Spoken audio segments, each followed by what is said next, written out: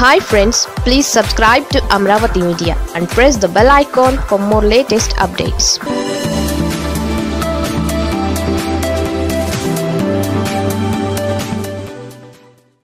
బెడిసి కొట్టిన చంద్రబాబు వ్యూహం. టీడీపీ మాజీ ఎమ్మెల్యే పరువు గోవింద. రాజకీయాల్లో ఎంత సీనియర్ అయినప్పటికీ ఒక్కొక్కసారి పరిస్థితులకు అనుకూలంగా వ్యవహరించకపోతే ఇబ్బందులు తప్పవు. బలం లేనప్పుడు తగ్గి ఒగ్గి ఉంటేనే రాజకీయాల్లో సింపతి దక్కేది. అయితే ఈ విషయంలో టీడీపీ అధినేత వేసిన దూకుడు అడుగులు సీనియర్ నాయకుడు మాజీ ఎమ్మెల్యే వనమాడి కొండబాబును హర్ట్ అయ్యేలా చేశాయని అంటున్నారు టీడీపీ నాయకులు.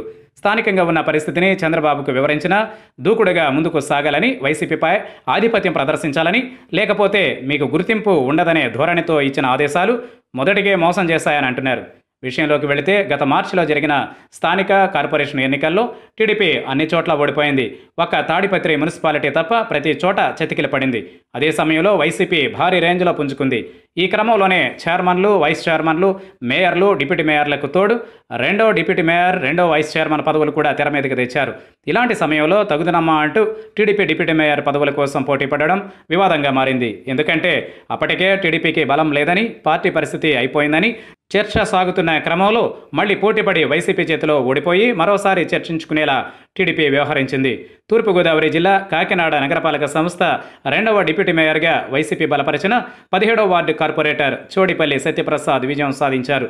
అయితే దీనికి ముందు టీడీపీలో నాటకీయ పరిణామాలు చోటు చేసుకున్నాయి. కార్పొరేషన్ డిప్యూటీ మేయర్ ఎన్నికకు దూరంగా ఉంటామని మాజీ ఎమ్మెల్యే వనమాడి వెంకటేశ్వరరావు బహిరంగ ప్రకటన చేశారు.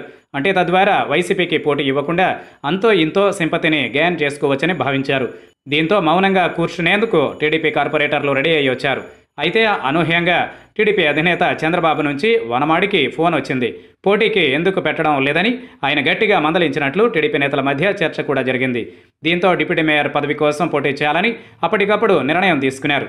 అయితే అప్పటికప్పుడు నిర్ణయం తీసుకోవడం కార్పొరేటర్లకు సరైన అవగాహన కల్పించకపోవడం పైగా వైసీపీకి భారీ మెజారిటీ ఉన్న నేపథ్యంలో చంద్రబాబు వ్యూహం అభాస్పాలైంది. అయితే ఈ ఎఫెక్ట్ మాజీ ఎమ్మెల్యే వనమాడిపై పడిందని ఆయన అలకపానుపు ఎక్కారని అంటున్నారు తమ్ముళ్ళు. ఇది సంగతి.